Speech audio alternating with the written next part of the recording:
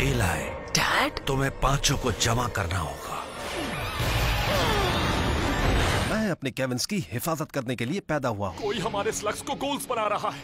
अगर यहाँ हमारे सारे स्लग्स खूल बन रहे हैं तो बाकी जगहों का क्या होगा? सब तैयार हो जाओ। मैं इन्हें हुक्म देता हूँ टू अटैक